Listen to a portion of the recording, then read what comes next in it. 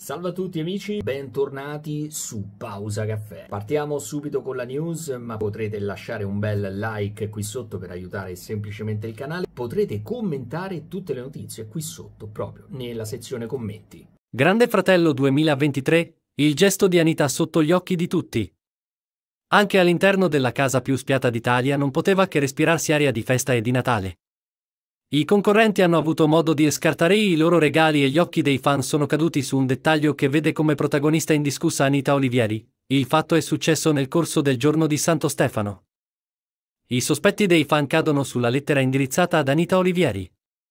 Ebbene, anche all'interno della casa del Grande Fratello è stato tempo di sorprese.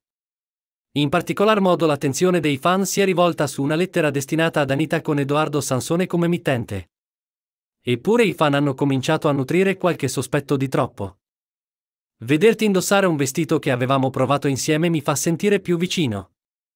Ricordo quel giorno, come ogni attimo passato insieme, in attesa di costruirne di nuovi. Sono orgoglioso di te, continua così come sei. Buon Natale Stellina. Mi manchi, Edo. PS un saluto a zia Fiorda, Rosy e Giuseppe, recita il contenuto della lettera ma i fan non si sono fermati solo a questo. Infatti l'attenzione di molti è caduta proprio sulla calligrafia.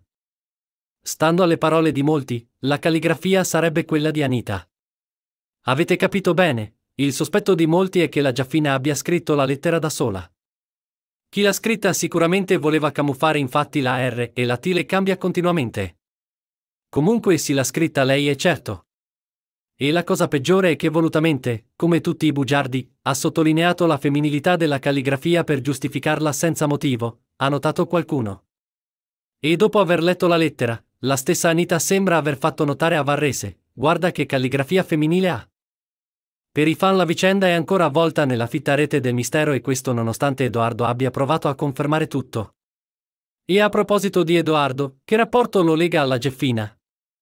All'epoca del suo ingresso in casa, la Olivieri aveva affermato qualcosa provando a fare chiarezza, io sono stata chiara con lui. Gli ho detto che entro qui non da fidanzata e nemmeno da single. Avere una relazione a metà così delicata non è semplice. E ancora, non voglio essere legata. Se c'è qualcuno che anche qui mi intriga per qualche motivo. Metti che mi intriga una persona e mi dico ma sì perché no, e poi mi va di fare qualcosa. Però poi mi blocco perché mi faccio un film in testa.